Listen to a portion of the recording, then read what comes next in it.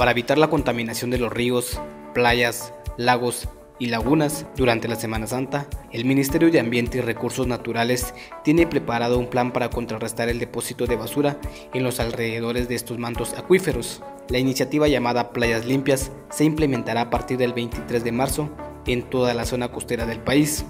Playas Limpias es un proyecto que todos los años implementa la cartera de ambiente durante la Semana Mayor, en donde participan personeros del mar, voluntarios y el gobierno local. El fin es evitar la contaminación del medio natural, en especial los ríos, playas y lagos, señaló Alfonso Alonso, ministro de Ambiente y Recursos Naturales. Bueno, el Ministerio de Ambiente todos estos años ha trabajado en una iniciativa llamada Playas Limpias, que en próximos días estaremos eh, eh, lanzando en la costa sur del país. El año pasado fue en Izabal, para ser exacto, en el Quetzalito Izabal.